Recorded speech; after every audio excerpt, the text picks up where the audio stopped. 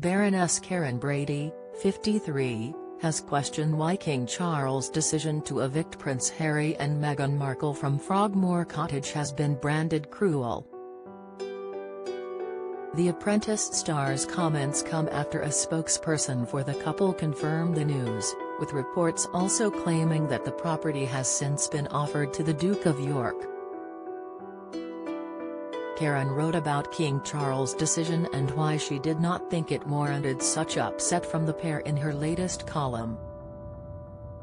Under the title King's Not So Cruel, Karren argued that the Los Angeles-based couple were overreacting to the news. The businesswoman insisted it was easy to see why the king had decided to evict Prince Harry and his wife from Frogmore Cottage given the contents of his explosive new memoir, Spare. She went on to argue that the couple had hardly been complimentary about this country or the royal family they have felt the need to get away from since giving up their royal duties. They certainly don't give the impression they want to spend any time in the five-bedroom cottage in the country they seemingly despise, Karren wrote. The fact is that since leaving to begin their new life, Harry and Meghan have barely paused for breath when it comes to bad-mouthing Britain. Who can blame the king for putting their uninhabited cottage to another use? She asked in her column for The Sun. What is harder to understand is the notion that being asked to vacate the cottage is cruel, as was claimed by the couple last week. Are they really upset they are being evicted from Frogmore, after all that has happened?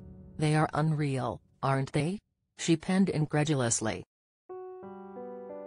Two days ago, former BBC royal correspondent Peter Hunt sparked online debate by taking aim at the King's decision. He wrote on Twitter at the time, much of the UK media will portray this eviction as a righteous act by a strong king. It's anything but. Instead of building bridges the head of state is torching them, he added. The banishment of his son is cruel, unnecessary and diminishes Charles. These days, Prince Harry and Meghan live in California with their two children, Archie and Lilibet. The pair quit life as working royals in 2020 and left the UK shortly afterwards, going on to make claims about tensions within the royal family in a series of interviews and in their own Netflix documentary. Frogmore Cottage is a Grade 2 listed property in the grounds of Windsor Castle in Berkshire and was a gift to Prince Harry and his wife from the late Queen herself. It became the pair's home for some time, with them refurbishing the property at an estimated cost of £2. 4 meters in 2018-19, which has since been repaid in full by the Duke.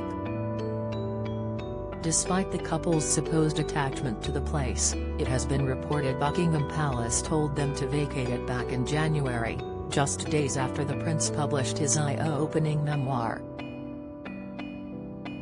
In the book, Prince Harry claims his brother Prince William physically attacked him and also makes negative remarks about his stepmother Camilla, Queen consort. Buckingham Palace has not yet provided a comment on the news that Prince Harry and Meghan Markle have been evicted from Frogmore Cottage.